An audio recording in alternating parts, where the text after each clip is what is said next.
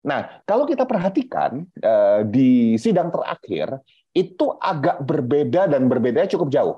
Hmm. Di mana ada beberapa yang saya tandai, saya garis bawahi ya. adalah ketika dia misalnya memegang mic gitu, nggak ada salah dengan cara memegang mic gitu, ya. bahwa tapi dia memegang dengan kedua tangan dan ketika dia tidak sedang memegang mic dengan dengan kedua tangannya, hmm. tangan sebelah kirinya diletakkan di paha kirinya dan itu kebanyakan diam, ya arti dari ini semua apa? ketika ketika seseorang ketika seseorang berada di depan publik dan saya yakin bahwa dia di depan publik itu nggak cuma sekali dua kali dan kalau kita lihat uh, rekam jejaknya adalah ya. bahwa dia dengan cukup pede memegang mic dengan satu tangan, kemudian dia bisa menggunakan gestur tangannya yang lain.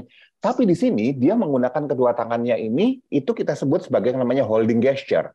Holding oh. gesture itu adalah ketika seseorang itu merasa tidak nyaman, nervous, uh, atas sesuatu hal yang sedang dia sampaikan harus berhati-hati, hmm. maka dia akan cenderung mencari pegangan.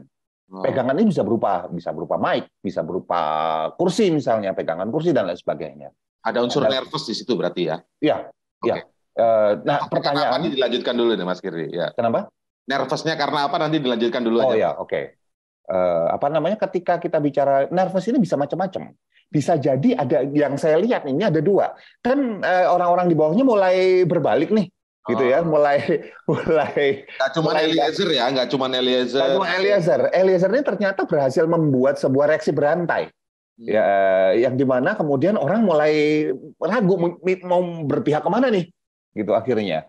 Dan itu membuat saya eh, cukup menggunting beberapa satu atau beberapa pilar kepedeannya eh, FS itu satu dan atau dan atau yang kedua, ketika dia menyampaikan sesuatu, eh, kata-kata ini benar-benar dia eh, apa ya zero tolerance untuk mistakes. Jadi nggak boleh salah sama sekali karena kalau sampai dia salah mengucapkan kata-katanya, maka ini bisa berbalik pada dia.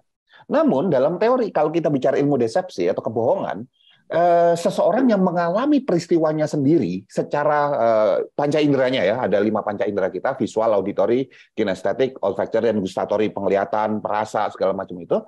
Begitu kita mengalami sebuah peristiwa secara langsung, maka itu langsung terekam dari sebuah uh, sistem yang simultan dan sinkron di otak kita. Dan kalau misalnya itu disampaikan lagi dalam bentuk komunikasi juga akan sinkron dari sisi gerakan tangan, dari sisi gerakan mata, gerakan tarikan wajah, dan itu nggak perlu hati-hati, udah ngomong aja. Yang saya sampaikan ini seperti yang dilakukan oleh Barada Eliezer. Ya ngomong-ngomong aja, jegar-jegar-jegar-jegar gitu aja, gitu loh.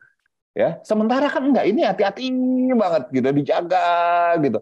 Artinya apa? Artinya ada kemungkinan bahwa ada poin-poin yang memang diatur sedemikian rupa. Dan dua hal ini tadi yang mulai uh, anak buahnya, mantan anak buahnya itu mulai berbalik.